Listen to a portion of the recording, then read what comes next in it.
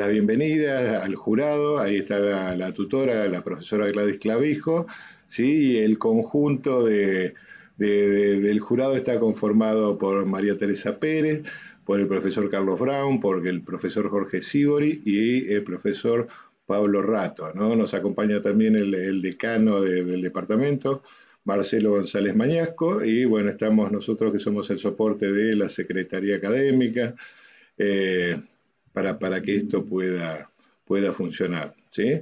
Ahí eh, Mariules va a dar las condiciones de esta defensa, describiendo rápidamente cuál es el, proceso y protocolo. Bueno, hola, ¿cómo están? Hola, Ana.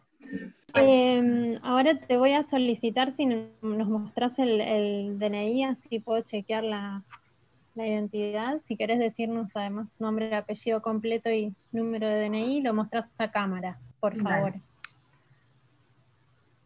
Eh, mi nombre completo es Ana Magdalena Abalsa, con B larga y S. Eh, mi número de documento es 34772-707. Eh, ¿Y fecha de nacimiento también o nada más? No, no hace falta. Ahí está bien.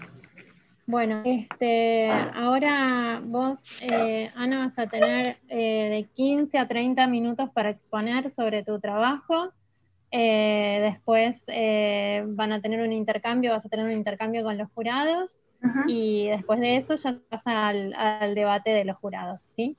Así que bueno, ya, se podría comenzar. Dale. Eh, comparto entonces pantalla para...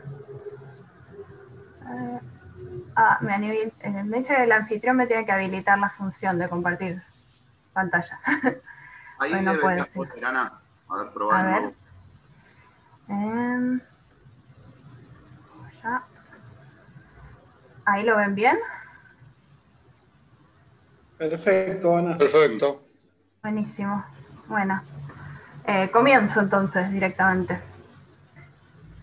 Sí, por favor. Bueno, em, bueno, este es mi proyecto de graduación, es un informe de investigación eh, llamado El surgimiento de las series web argentinas. Es un estudio de caso donde se trabajó la serie web Un año sin televisión del año 2011.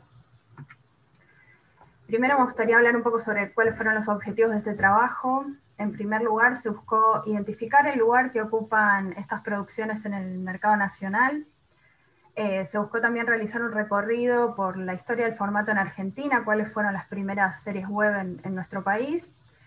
Eh, también se buscó eh, identificar qué herencias y especificidades tienen las series web con los medios tradicionales, mejor dicho, qué herencias tienen de los, de, los medios tradicionales.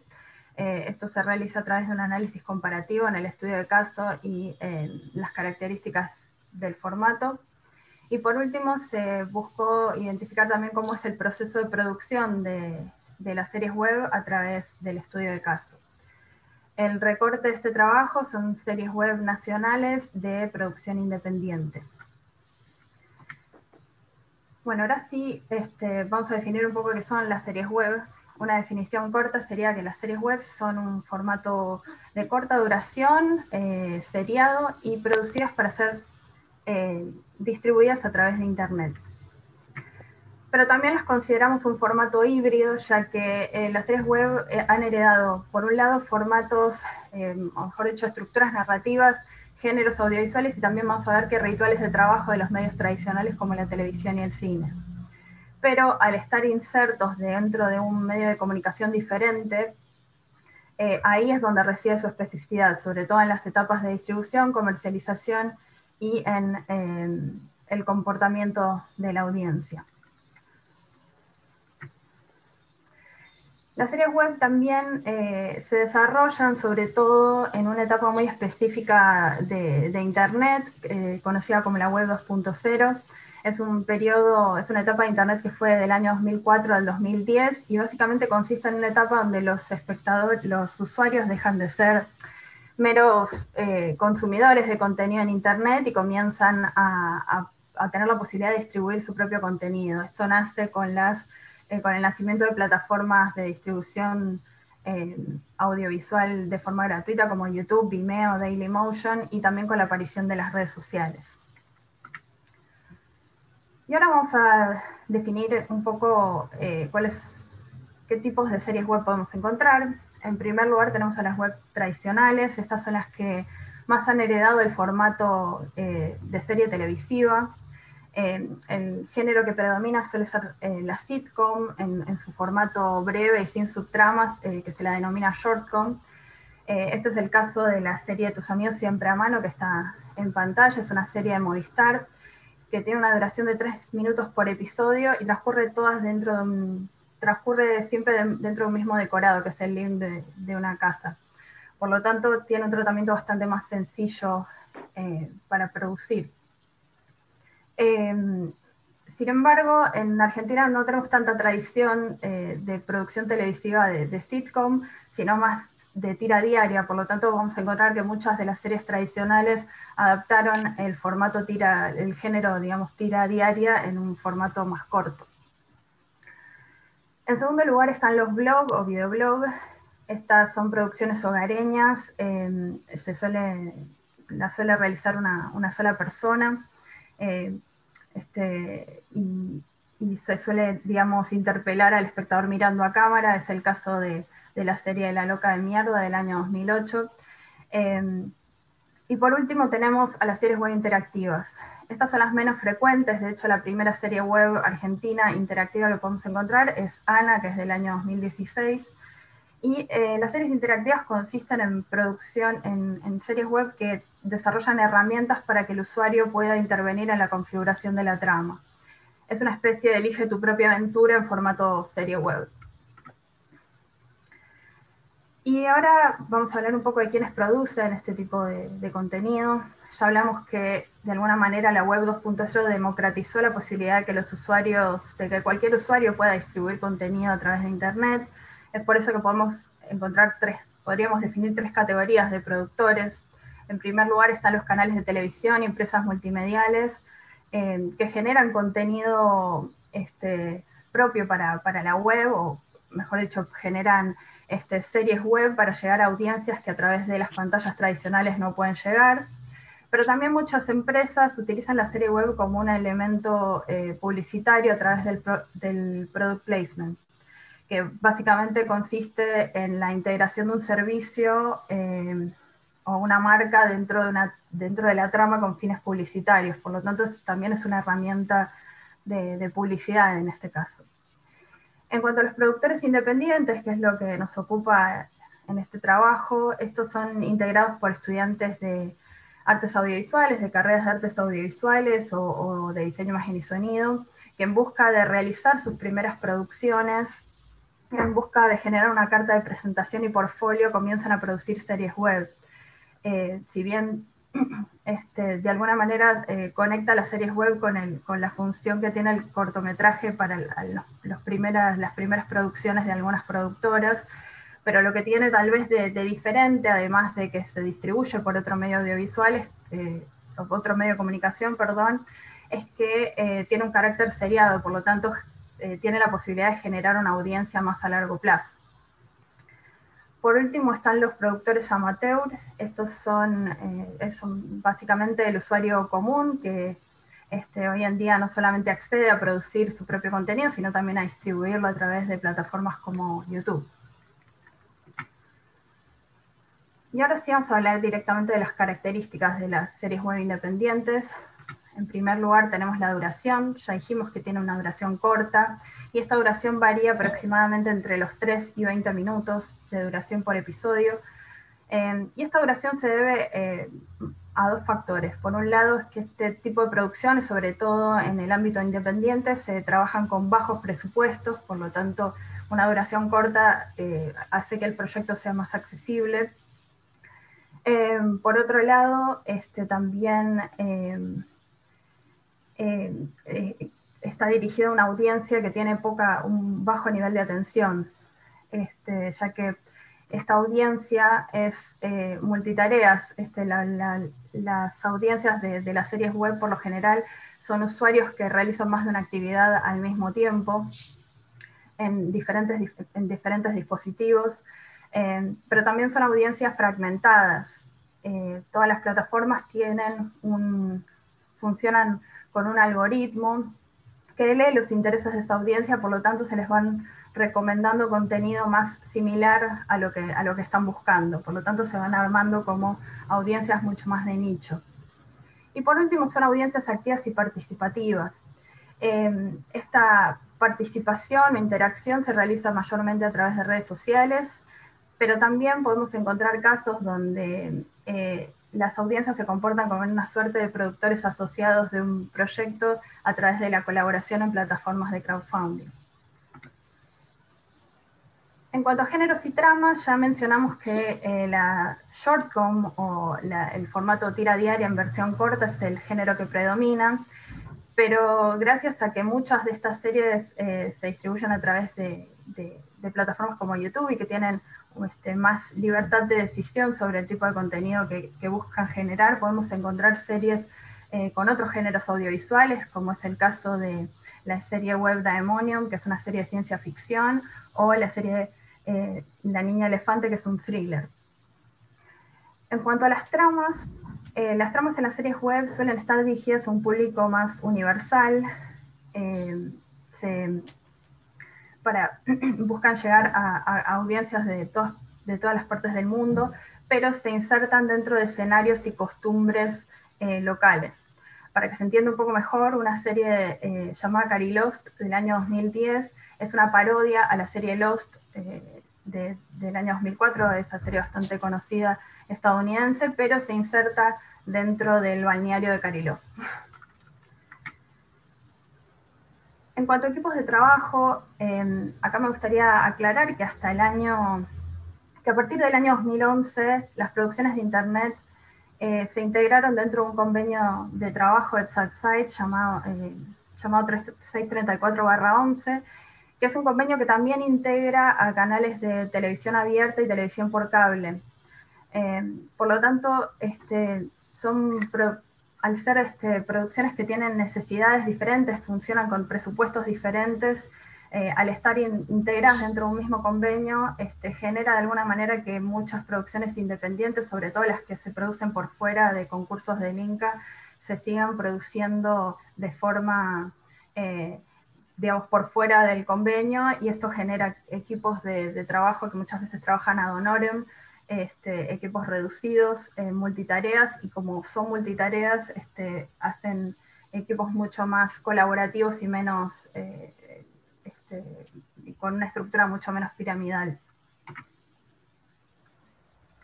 En cuanto a presupuesto y financiación, ya hablamos que los presupuestos suelen ser eh, bajos, sobre todo en la producción independiente, y en la financiación, este, es, hasta el año 2011, este, la financiación se limitaba únicamente a bienes propios, a canjes o colaboraciones con negocios o marcas y la realización de eventos y proyecciones. A medida que este formato fue ganando cierta popularidad y fue creciendo paulatinamente, se fueron agregando más métodos de financiación, como es el caso de las plataformas de crowdfunding como Ideame, que nace en el año 2011, en el año 2016, el Inca abre una serie de concursos llamado Para TV y otros medios. Em, en 2015 nace el festival eh, Baweb Fest, que es el primer festival dedicado a las series web en Sudamérica, eh, que, aparte tiene una, ronda de negocios em, para conectar a, proyectos en proceso con eh, posibles inversores y plataformas de distribución. También la Bienal de Arte Joven tiene un concurso de desarrollo de series web. Y por último, eh, el que ya mencionamos, que es el Product Placement. En cuanto a la distribución de este tipo de, formatos, eh, podemos encontrar tres variantes. En primer lugar están las plataformas de distribución gratuita como YouTube, Vimeo y Dailymotion. Eh, YouTube sin duda es la que predomina este, hoy en día, no solamente y esto se debe principalmente a que no solamente es una plataforma de distribución de contenido gratuita, sino que eh, funciona como una red social y una plataforma de contenido on demand. Por lo tanto, reúne a varios tipos de usuarios eh, con la posibilidad de distribuir contenido. Eh, por otro lado, tenemos a los canales, de, canales digitales, como es el caso de Cinear Play, que cuenta con toda una sección dedicada a las series web. Eh, también está TV, que es una plataforma on demand que permite, entre otras cosas, permite que los productores que alojan allí sus producciones puedan generar cierto recupero económico eh, a través de, la cantidad de visualizaciones que, la producción tiene. Por otra parte está la, plataforma de Un3, que Un3 no solamente es, una, es un canal digital, sino que este, también funciona como productora de contenido. Y por último, FWTV. FWTV eh, funciona más similar a, un canal de televisión tradicional porque tiene estudios propios y eh, su recupero, digamos, viene de la publicidad eh, digital. Ah, perdón. Por último, me olvidé este, los, los festivales. Los festivales, además del Bauer Fest, también están los premios Martín Fierro Digital, que se hacen todos los años desde el año 2017. Eh, y estas serían básicamente las tres formas de, distribución. En cuanto a comercialización y lanzamiento, eh, esta se realiza mayormente en redes sociales, no solamente por ser este, el medio más accesible para las producciones independientes de generar campañas de, lanzamiento, sino también porque es el lugar de, interacción con la potencial audiencia. Y esto es bastante importante porque lo que tenemos, lo que vamos a ver de que tienen de particular estas producciones que, es que la comercialización y lanzamiento prioriza sobre todo generar fidelidad en el usuario. Y esa fidelidad se genera teniendo interacción eh, y realizando e incentivando a la audiencia a participar. este, es por eso que es una de las estrategias más importantes en esta etapa. Y ahora sí vamos a hablar un poco de cuáles fueron las primeras series web argentinas. Eh, las primeras series web nacen con la llegada del nuevo milenio en el año 2000, un poquito antes de la aparición de la web 2.0, en el caso del Mono Mario y Alejio Valentina. Eh, y es este, una etapa donde todavía no había plataformas, muchas plataformas de distribución de contenidos, sino que la mayoría de estas series se alojaron en, sitios web propios y no era tan accesible para todos los usuarios a generar este contenido. Eh, tampoco era muy fácil consumirlo porque todavía la conexión a internet era dial-up en muchos casos. Eh, y me parece importante, sobre todo, destacar eh, a la serie web El Vagoneta, porque la serie web El Vagoneta no solamente es la primera serie web no animada argentina, sino que también tuvo la colaboración y participación el grupo Clarín y, este, Movistar como auspiciante. Es decir, que fue una de las primeras series que tuvo colaboración de grandes empresas en un formato que era relativamente nuevo. A medida que fue creciendo el formato, a medida que se fue desarrollando la banda ancha y aparecieron plataformas de distribución de contenido de forma gratuita, también creció el interés por, de, grandes, de grandes empresas por generar este tipo de contenido. Este fue el caso de Dory Media Group, que produjo la, serie web Amanda del año 2000, Amanda O del año 2008. Esta es la primera serie eh, que estuvo disponible para descargas en celulares y es el caso también de Embarcados del año 2008, que es una, serie producida por la productora La Mancha, que estuvo financiada y distribuida por el portal MCN, que era uno de los portales con más eh, flujo de usuarios de, aquellos años. Y ahora sí vamos a hablar directamente del estudio de caso. Eh, se eligió la serie web Un año sin televisión, del año que comenzó su producción a fines del año 2010 y este, eh, fue producida por una productora independiente llamada Tan Gran Cine. Eh, primero me gustaría aclarar por qué se eligió este caso. En primer lugar, este, esta serie al comenzar su producción a fines del año 2010 se encuentra de alguna manera en una etapa bisagra previo a la apertura de, más métodos de financiación para este tipo de producciones eh, independientes.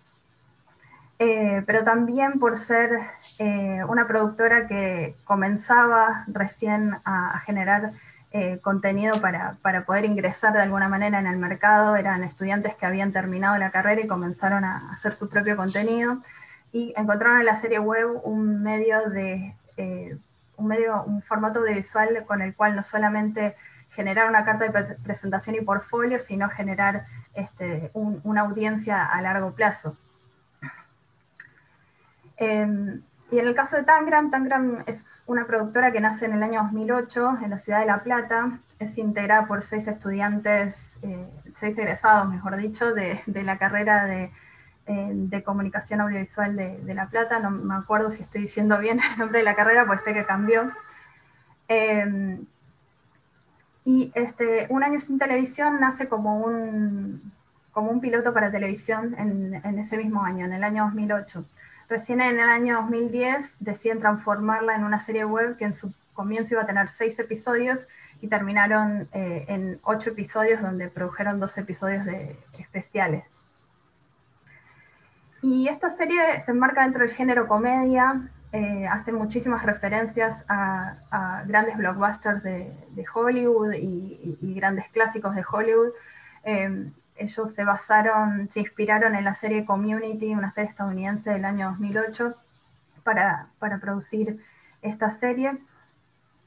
Y ahora sí, este, vamos a hablar directamente de, las etapas de, producción de lo que fue un año sin televisión. Primero tenemos que hablar del desarrollo.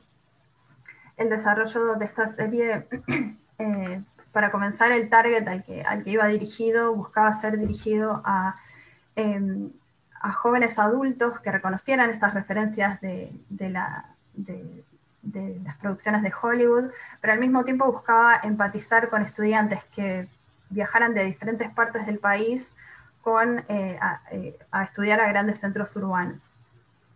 En cuanto a la escritura del guion, esta fue rotativa entre los seis integrantes de la productora, y este, ellos decidieron realizar este, la producción de la serie en dos etapas. Primero se produjeron en su totalidad el episodio del 1 al 6, una vez estrenados produjeron el, séptimo y el octavo. Según la modalidad de producción en televisión, se eligió, es una, se podría decir que eligieron la modalidad de producción a riesgo, que básicamente consiste en generar este, una parte o la totalidad de una, de, un contenido sin saber cuál va a ser el éxito una vez emitido. Este, esto lo podemos ver bastante en las producciones originales de Amazon y Netflix hoy en día.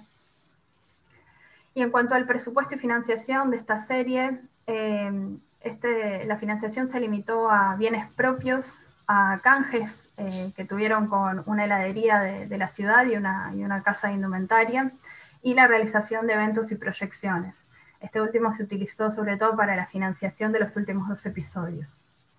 De esta forma, este, estas dos etapas se dividieron en presupuestos de la siguiente manera. El episodio del 1 al 6 eran episodios más breves, por lo tanto tuvieron un presupuesto total de 6 mil pesos para el año 2011, que era aproximadamente 1.500 dólares de, de, aquel entonces. En el episodio 7 y 8, que fueron más extensos, duraron hasta casi 20 minutos, Em, eh, se, logró, el presupuesto total fue de 12 mil pesos, eh, que eran aproximadamente 3 mil dólares de, aquel entonces, en el año 2011.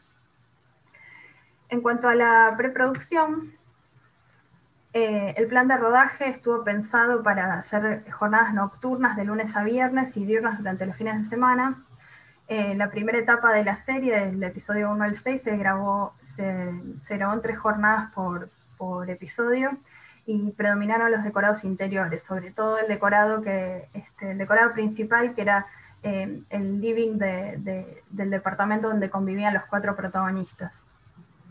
Para el, para el episodio 7 y 8 este, se destinaron siete jornadas y predominaron los exteriores, y esto se debió a que como comenzaron la producción del séptimo y el octavo después de haber filmado la primera parte de la serie, habían perdido, habían cambiado al, equipo de dirección de arte y habían perdido la locación, por lo tanto trataron de adaptar el guion a esas necesidades de, producción.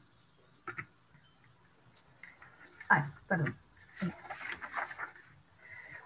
Eh, y en cuanto al equipo técnico, las cabezas de equipo estuvieron integradas por los seis integrantes de Tangram, eh, solo rotaban los roles de guionista y de dirección. Eh, y en este caso me parecía interesante señalar que el rol de director este, rota al igual que en las series televisivas, pero las decisiones creativas están puestas también en el rol de director, que esto es más, propio de, de las producciones cinematográficas. Por lo tanto hay una especie de híbrido entre la, producción televisiva y cinematográfica en este caso.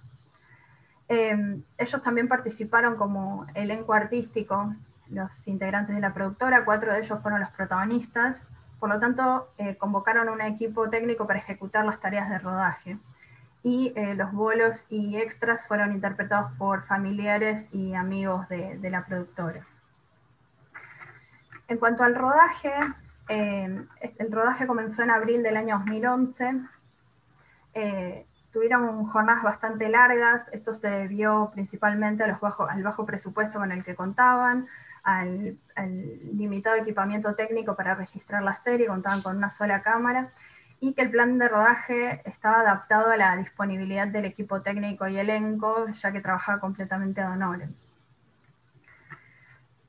En cuanto a la postproducción, esta estuvo alineada eh, con la etapa de rodaje, ya que ellos tenían un deadline para el estreno. El deadline para estrenar el primer episodio era el viernes 13 de mayo del año 2011, porque el primer episodio era sobre la mala suerte y querían estrenarlo justo ese día. Eh, por lo tanto, este, eh, alinearon las dos etapas. A medida que se terminaba de rodar un episodio, comenzaba la, postproducción. En cuanto a la distribución, eh, Tangram decidió distribuir la serie a través de su canal de, YouTube. se estrenó un episodio por semana.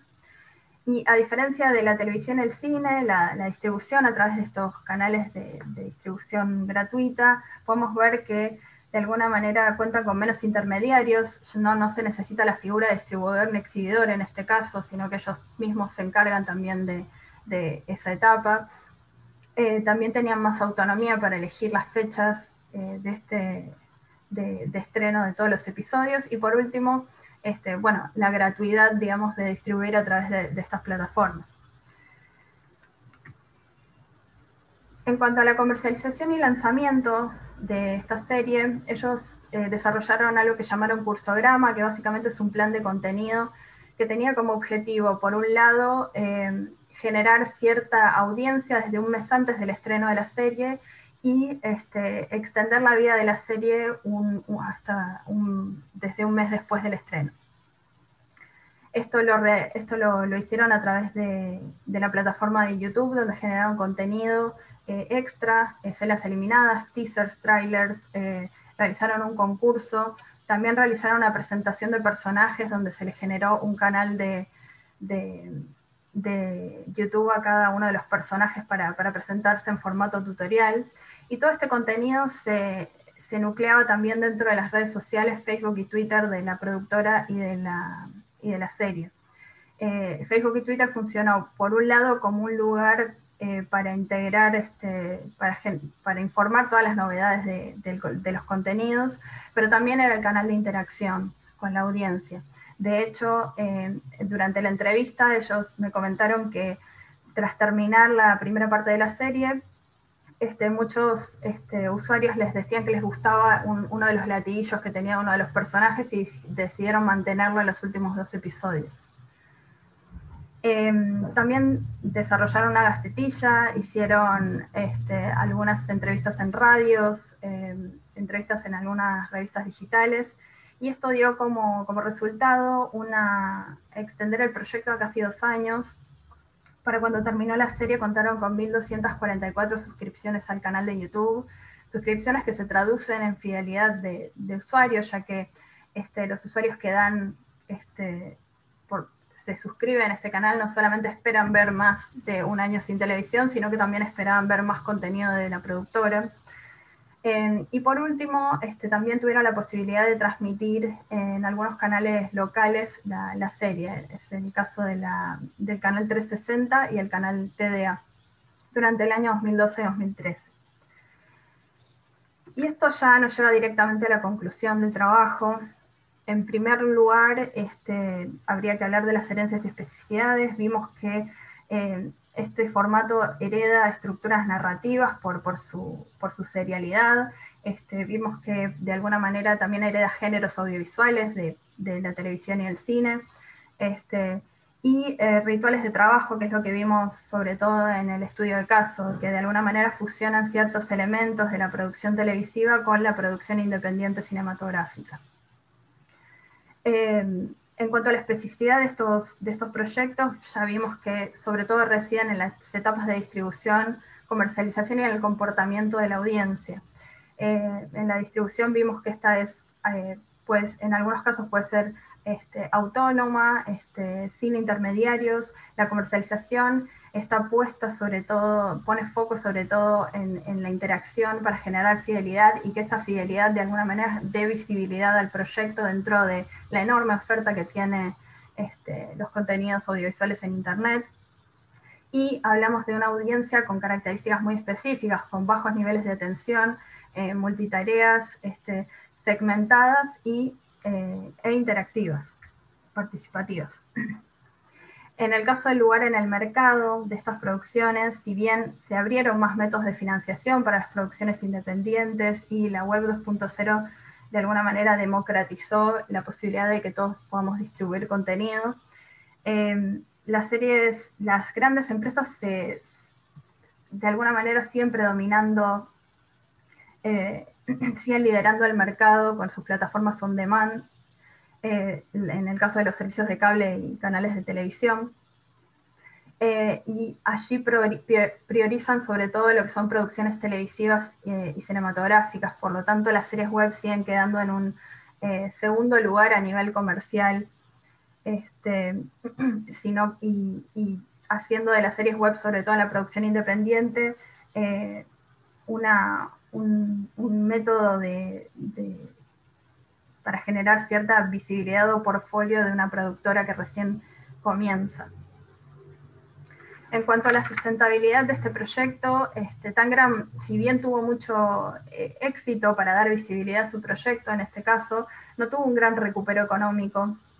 Eh, de hecho, el recupero económico para estas producciones se limita únicamente a la publicidad en plataformas, este, los auspicios em, y, sobre todo las, lo que son este, plataformas de suscripción o crowdfunding. Por lo tanto, este último método que suele ser muy utilizado para las producciones independientes, em, deja ver de alguna manera que no solamente eh, la fidelidad de la audiencia genera visibilidad del proyecto, sino que genera la posibilidad de tener un recupero económico. De todas formas, no es, una producción 100% sustentable. Bueno, esto ha sido todo. Muchas gracias.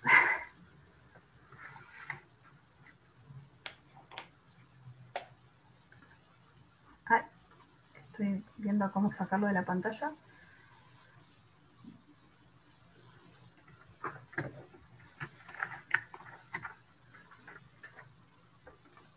Ahí está.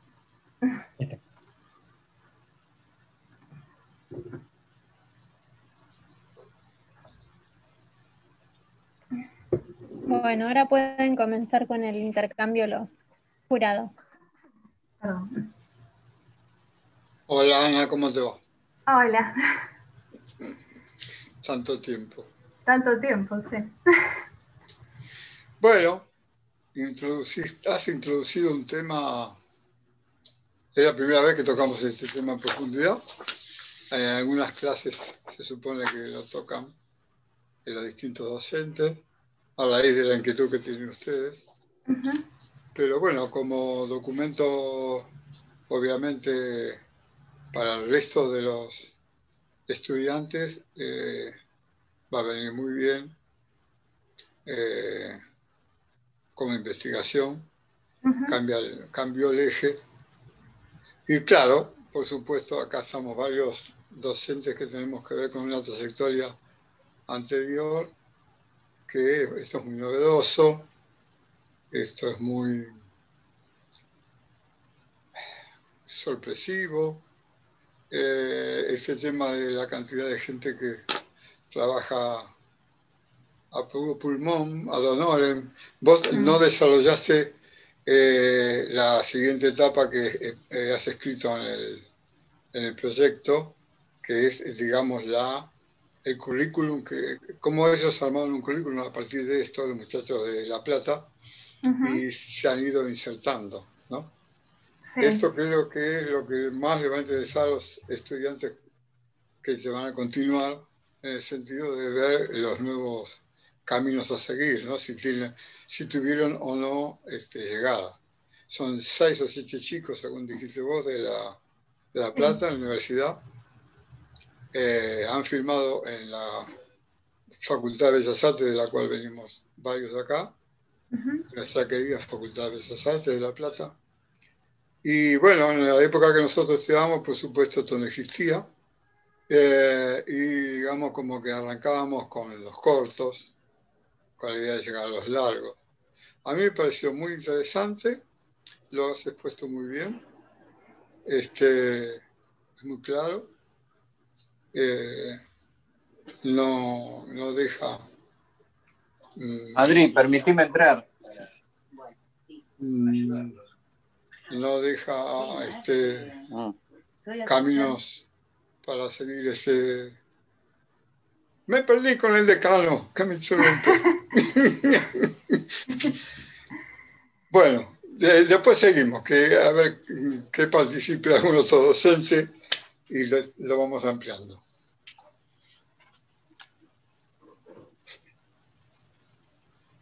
Charlie, no sé, ¿querés vos? Como platense. Eh, eh, gracias, Ana, por la exposición. La verdad que fue clarísima, clarísima, muy contundente. Y creo un poco, comparto lo dicho por Jorge, en cuanto para muchos de nosotros, si bien conocemos este formato, no lo hemos practicado, por lo tanto nos es algo nuevo. Y no solo nos es algo nuevo como docente, sino que también eh, carecemos de bibliografía. Así que me parece que, es muy atinado el tema que seleccionaste, porque viene justamente a cubrir un bache. Eh, y a mí me, resultó muy grato leerlo. Ahora puntualmente te quería hacer una pregunta con respecto a, por qué elegiste este tema, que me parece que fue una gran elección, pero que quiero escucharte eh, a vos. La, verdad es que yo comencé con este tema en la materia equipos de trabajo cuando todavía tenía dos niveles.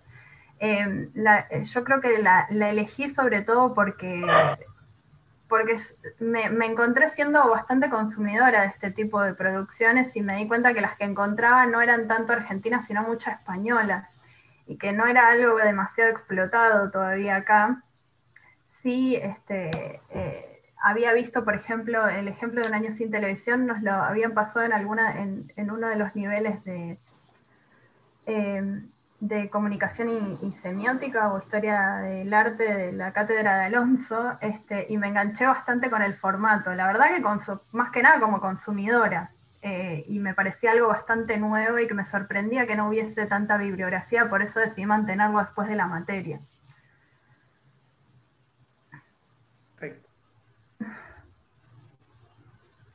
Bueno, muy buena idea, genial. Ojalá, ojalá aporte, aporte algo. Sí, sí, sí, sin duda. Sí. Eh, Yo creo que. Ah, perdón. No, dale, Mari, por favor.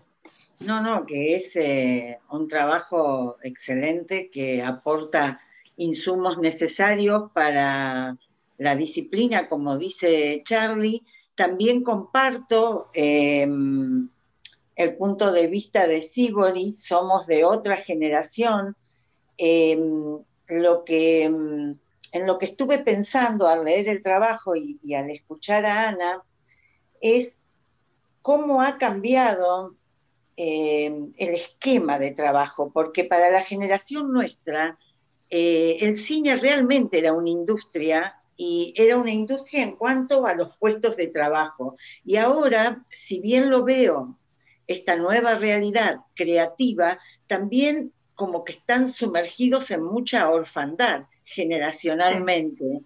Eh, nada, esto como reflexión. El trabajo me encantó, me parece de riguroso, eh, claro y necesario como insumo teórico para estos tiempos desarrollo del audiovisual, del estudio. Mm. La verdad te felicito, me, encantó. muchas gracias. Em, ¿Puedo hacer eh, comentarios sobre lo que me Por supuesto.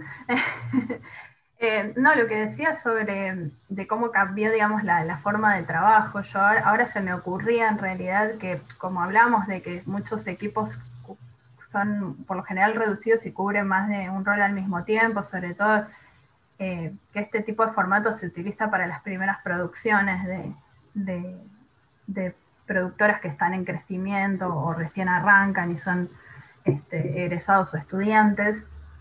También siento que es una modalidad de trabajo que se repite en otras áreas, como que eh, tener más de un conocimiento al mismo tiempo, poder cubrir más de una tarea, es como es una tendencia en, varias áreas laborales, pero en general, más allá del mundo audiovisual, estaba pensando recién. Eh, sobre todo que ahora yo por lo menos estoy trabajando en otra área que es, que es marketing y eso pasa muchísimo también, que te exigen tener este, eh, cubrir diferentes roles en uno, en uno solo. Sí, no, es cierto, es, eh, el, comentario fue desde el asombro y la fascinación también generacional, ¿no? Eh, nada, para nosotros era entrar a trabajar en una productora o en una producción, era un trabajo concreto ah. con sueldo asegurado. Claro. No siempre, pero era lo, a lo que se tendía, ¿no? Claro. sí. Y se hablaba del cine como industria, ahí era claro como concepto de lo que generaba eh, con otro esquema. No, es, es, fascinante. Sí, eh, ahora yo lo que, bueno, me sumo a, a las felicitaciones de mis compañeros eh, y compañeras, porque realmente eh, es un trabajo eh, muy bien hecho y, tu exposición también. se nota que claramente te has metido a, interiorizarte, a investigar y a entender esto.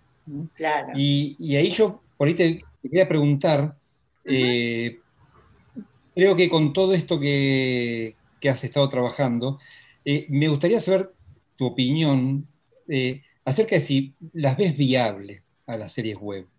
Eh, en este sentido, te lo pregunto. Eh, hoy en día, como muy bien dijiste, las series web están reemplazando en muchos casos a los cortometrajes a la hora de ponerse a prueba, de, empezar a, generar una experiencia y a generar material para mostrar después. Entonces, ya son cada vez más, lo vemos en el departamento, lo vemos muy seguido, eh, estudiantes que, eh, que optan, en lugar de, proponer un, largo, un cortometraje como, como pieza, eh, proponer series web.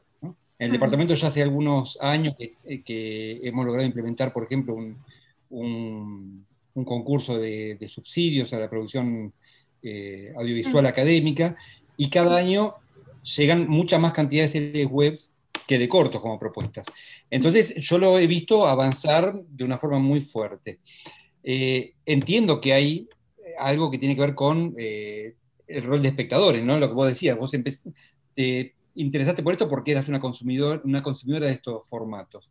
Ahora, después de todo tu análisis y, tu estudio que has hecho al respecto, eh, hoy en día a un grupo de compañeros que, que se largaran a hacer que estuvieran pensando en, entre hacer una serie web o un corto eh, para foguearse y ponerse a prueba. ¿Vos le recomendarías eh, una serie web como, formato? Eh, sí, o sea, no deja de ser cosas completamente diferentes como lo es una serie de televisión y, un largometraje, pero yo creo que lo que, lo que tiene de beneficio la serie web es que de alguna manera, eh, era lo que comentaba en la presentación, de generar cierta este, fidelidad para generar cierta visibilidad, generar una audiencia tal vez hoy en día tiene mucho más valor que, eh, no digo que reemplace a, circular por festivales o generar cierto prestigio dentro de la industria, pero eh, me da la sensación, o por lo menos por lo que, por lo que fue la el proceso de, esta, de esta productora es que esa visibilidad le abrió un montón de puertas para, siguientes trabajos. Entonces me parece que si se busca eh, realizar este, una, productora y arrancar como, productora y, independizarse y no trabajar para otros, me parece que es, algo bastante viable. Es verdad que no es de, tal vez del todo sustentable, este, pero, pero me parece como una buena producción para, arrancar. Eh, de hecho, ellos en el, en el, anexo del trabajo este, eh, tuvieron la un montón de, de producciones siguientes hicieron series web, que eso también les generó aún más, más visibilidad, generaron también una identidad de marca con la, con la productora. Todos los, todos los suscriptores dicen, bueno, si voy a ver algo de, de tan gran cine, ya sé lo que me voy a esperar más o menos ver.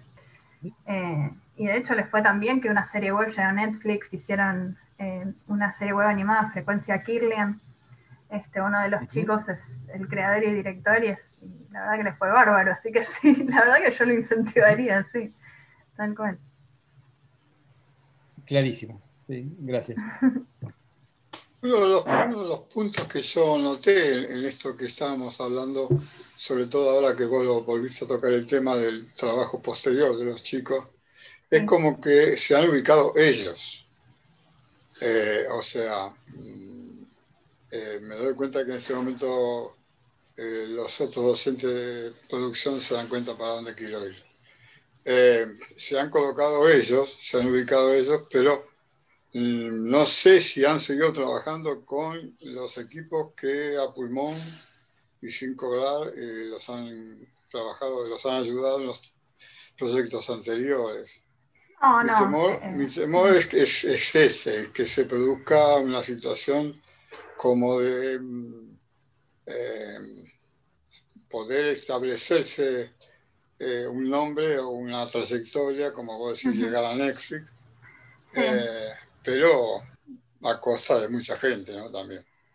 Sí, sí, de todas maneras, ellos no trabajaron en todas las producciones, me parece, a, a en mi 100% a pulmón, pero yo más que nada, este, este caso no es que todas las series web trabajan de esta forma, sino que eh, ah. tocamos esta, este ejemplo y esta, serie, y esta serie web, al ser la primera producción de, chicos que recién arrancaban en la industria, lo pudieron realizar de esta manera, sin tener muchos métodos de financiación y ubicarse justo antes de que haya un convenio laboral con Satside incluso. Entonces, este, y lo que yo mencionaba antes del convenio con Satside, también la realidad es que son, son producciones que tal vez tienen, este, además de, trabajar con bajos presupuestos, porque no, por, los métodos de financiación, tal vez por las características del formato, tienen otras necesidades que los, los,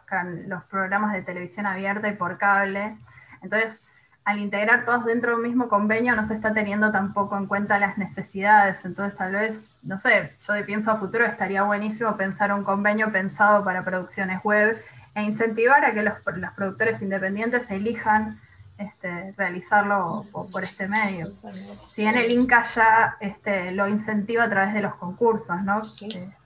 pero sí, Yo, yo creo también que que además lo, bueno y lo fascinante del trabajo de Ana es que nos muestra, sobre todo para nuestra generación, hay, está cambiando el esquema de producción mucho más fuerte y profundo de lo que nosotros podemos sospechar. Yo creo que el Inca y, y Zika también se van a tener que replantear.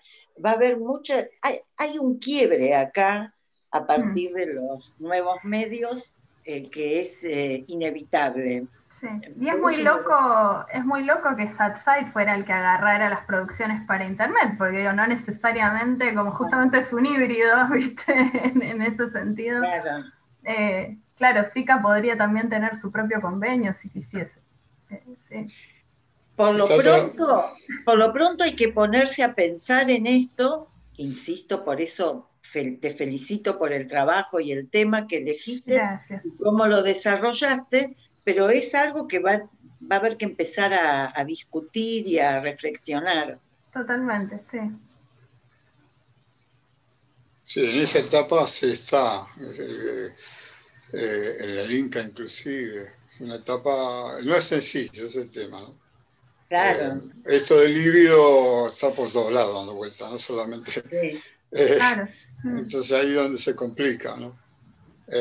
fíjate que el presupuesto que vos hablaste de los trabajos es ínfimo, no, comparado, claro, no existe. Para, para, entonces es un tema, sí, tiene que bajar del Inca para abajo, para las, las, entidades y ahí verse.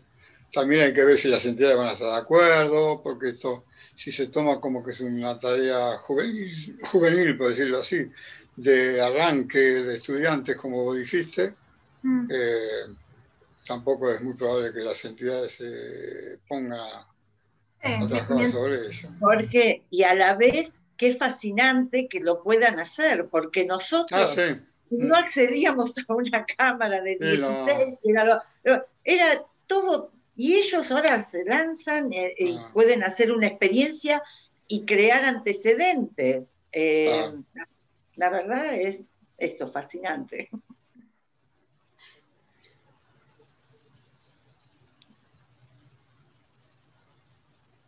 Bueno, ¿Qué pasó?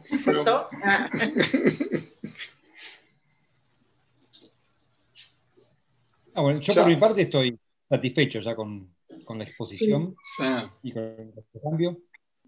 No sé si, ustedes tienen algo más para preguntarle a Ana y si no, por ahí ya pasamos a, a, deliberar nosotros.